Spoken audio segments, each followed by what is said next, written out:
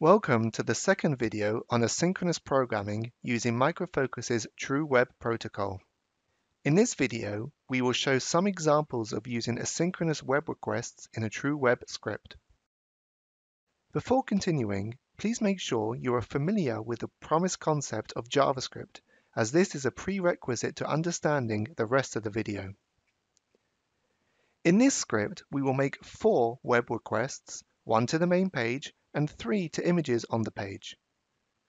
For each web request, we used the await keyword, and therefore our code runs synchronously. We would like to update the code so that the three images are loaded asynchronously.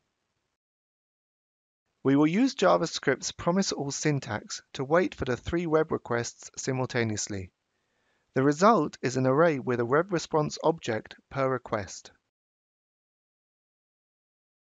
We can see that the requests are being scheduled and executed in no particular order. Now let's see what happens if we forget to wait for an asynchronous web request.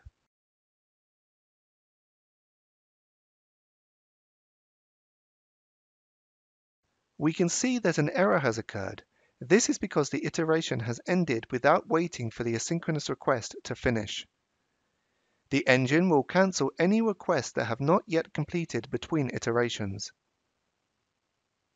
Adding the await keyword fixes the issue, and now we wait for the response to arrive before exiting the script.